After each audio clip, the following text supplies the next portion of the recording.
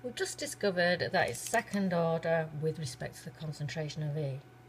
But how are we going to find the order with respect to the concentration of D when there are no two experiments where the concentration of E has been kept constant? We're going to use our simultaneous equations again. And this time, let's choose any two experiments. Let's choose experiment 1 and 3, where we varied the concentration of D. Doesn't matter that we've varied the concentration of E, because we already know the order with respect to the concentration of E. So let's choose experiments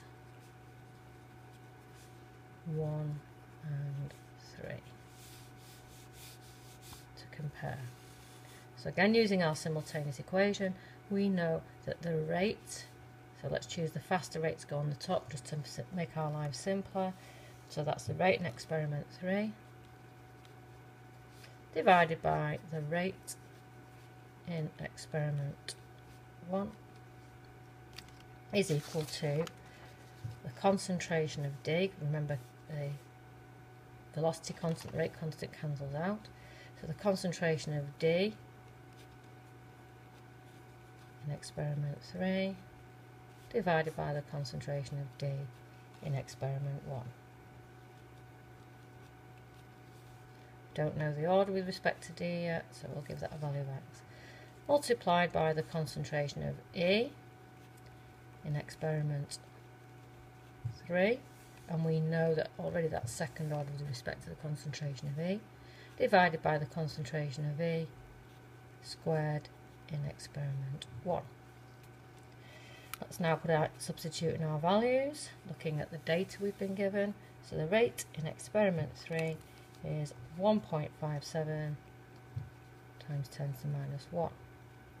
The rate in experiment 1 is 1.16 times 10 to the minus 2 and that is equal to the concentration of D in experiment 3 which is 1.88 times 10 to the minus 2 divided by the concentration of D in experiment 1 which is 1.25 times 10 to the minus 2.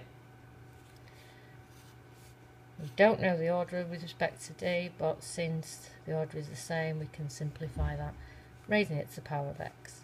We also know the concentration of E in experiment 3 is 1.75 divided by the concentration of E in experiment 1, which is 5.81 times 10 to the minus 1.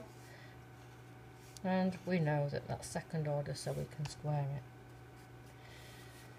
Go to your calculators now, that simplifies to 15, 13.53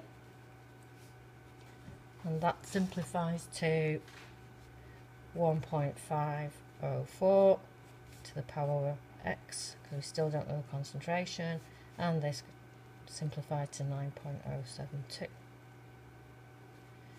Take this over to the other side, that comes to 13.53 over 9.072 which equals 1.0 1.504 to the power x.